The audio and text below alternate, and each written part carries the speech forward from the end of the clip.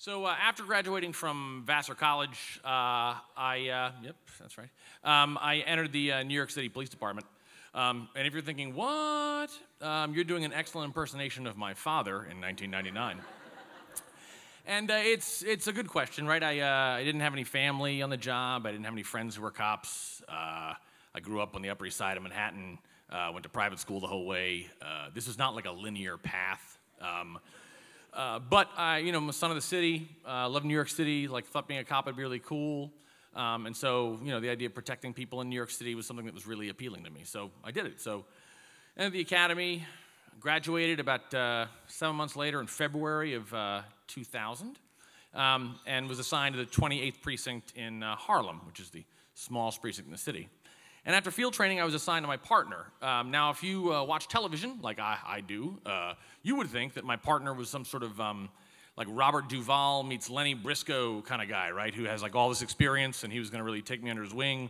Um, but my partner was actually a 23 uh, year old, uh, like five foot two Dominican kid uh, from Williamsburg, Brooklyn, named Will. Uh, and we came out of the academy together, um, which is cool because we were really close and we were great friends. Um, but we had no idea what the fuck we were doing, like at all, right? I mean, th- there was no background. There was no like, oh, well, I did this in this case. It was like each day, it was like just magic eight ball, like what the fuck is happening? Um, and and there were also incidents that I didn't have any dealings with. Like we had a case where a woman pulled a hair extension out of another woman's head, and uh, Will thought it was assault, and I thought it was theft, and it was like. Like, I, I, I don't know. Um, and, um, and, you know, and there were officers who would uh, help us out, give us some, like, tips, right? So one of the officers, uh, Tony Boda, famously told me after a, a foot chase on 125th Street, he's like, Campbell, listen, when you're calling for help on the radio, take the bitch out your voice, which was excellent advice. Thank you, Tony.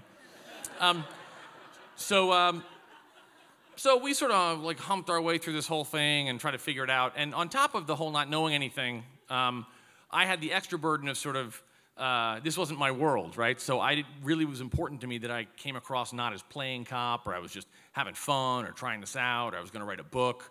Um, it helped that like most people thought Vassar was a welding college, which I did not disavow them of that notion at all. Um, so that was good, and I was well liked, I would say. Um, but I wasn't really tested, and that's really important in the department. You know, you just see how the guy stands up under pressure. Um, and that test came fortuitously uh, in the winter of 2000. Um, it was a really, really cold night, and we had a call for a guy acting irrationally uh, on 116th Street and Lenox Avenue. So super cold night. So we pull up in the car, and there's a guy. And when I say guy, that's the uh, more ogre. Uh, he's the he's a big, big man, and he's standing like on the WL line of 116th Street. There's like no one else around. Um, freezing cold. He's probably six seven, uh, 300 pounds, like all muscle. And he's wearing uh, shorts and sneakers, and that's it. Um, and he's sweating profusely. Um, and oh, and there were people in the street behind him that were like, that's the guy. like, gotcha. Appreciate you. Bet. So, um, so I thought maybe it was PCP. Um, we hadn't had a lot of PCP cases yet in our nascent career, um, but we did have drug training for like an hour and a half on a Tuesday at the academy. And the three things that the guy said, the narcotics detective was like, all right, here's the deal with PCP, all right? Uh, first thing you gotta know is you get really hot, you take all your clothes off. Check. Second thing is you got like superhuman strength. Um, number three, you're impervious to pain. All right, this is good. All right, great. That's good stuff. All right, so, uh, so, and I should also say at this point now that Will and I had a really good working relationship in that um, I would talk our way out of like 85% of the stuff, right? That was like we played our strengths, right? So I would just, I'm the talk, I was the good cop, like talking to people, right? And Will was like the very short, aggressive, like fighty cop.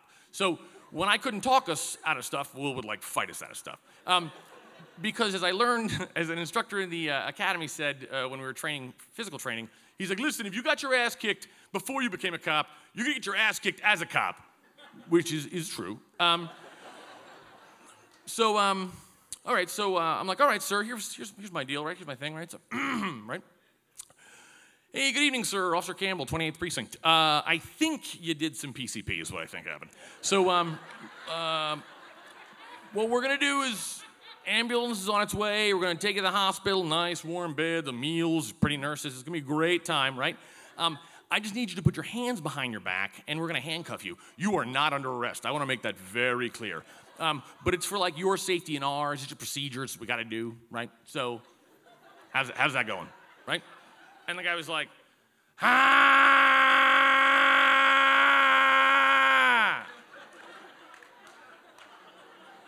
So like I, I look at Will and I'm like, uh, like uh, we call for help? Like uh, no, we don't call for help. We don't call for help. No, it's okay. It's okay. We got this. All right. Um, and there was literally cartoon-like steam coming out of his nose as he, like a bull. So I'm like, uh, all right, uh, what do we do? And then Will's like, hey, bro, because uh, it was just like that. It was like, he's so short.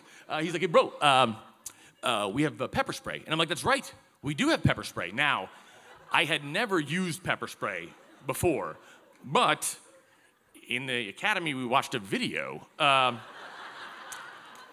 true. Uh, and uh, in the video, man, that shit works like a charm, right? You spray it, the guy's like screaming on the ground. No problem, right? So, whew, all right, so I take the pepper spray out. You gotta shake it to activate like the pain crystals or something. And, uh, and, uh, and so I'm like, sir, this is pepper spray. I don't want to have to use this. I really, like, really, really, really don't want to have to use this. Like, please, please, please, please, please. Um, put your hands behind your back. I beg you, please, please, please. Right? And so at that point, he, he, uh, he looks at me and he's like, uh, I'm going to eat your babies. all right, all right. All right. Um, so then Will and I are like, what the fuck? I don't know what the fuck to do. What do you? All right. So, so call for help? No, don't call for help. We got this. We got this. Don't call for help. Though. So I spray the guy in a perfect, like the video would have been proud. So I spray the guy in a perfect pattern. It's like the money shot of pepper spray right here, like all over the face and the eyes and the nose. I mean, it's everywhere, right? And swear to fucking God, this guy does this. He's like, come get some motherfucker.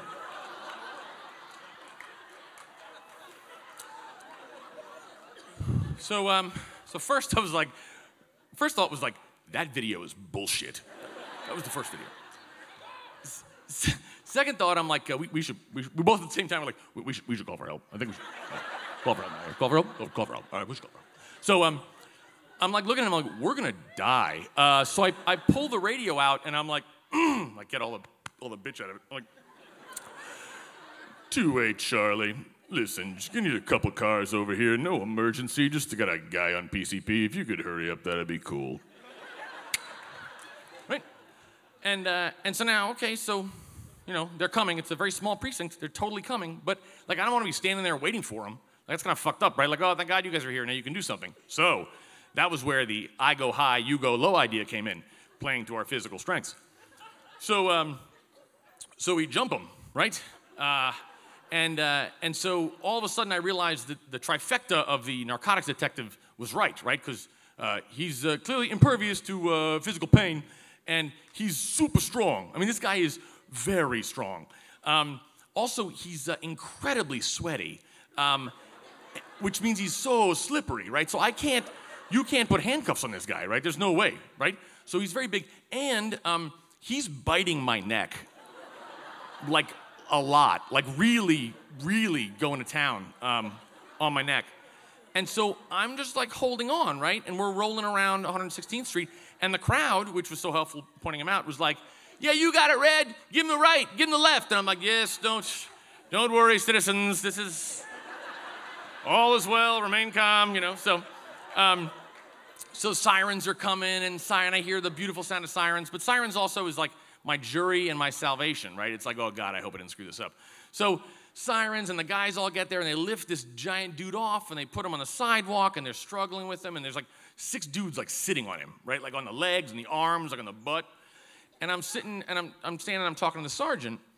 Um, and a couple things happen. First, Boda walks by and he's like, Campbell, good radio voice. I'm like, oh, thank you. uh, that's right. And then uh, this other like old head cop was like, man, that guy's huge. You should have called for help earlier. I'm like, oh, you think so, do you?